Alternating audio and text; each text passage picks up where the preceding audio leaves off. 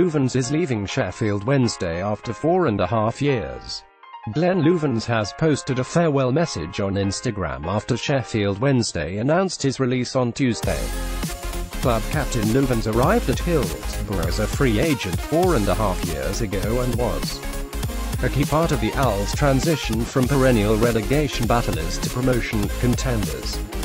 The 34-year-old has seen his involvement reduced this season, however, and has failed to appear in a single matchday squad since early March, ensuring the news of his departure arrived with little shock. My time has come to move on, wrote Loovens. I enjoyed my four, five years stay at this great club and want to thank every one of you that made it so special.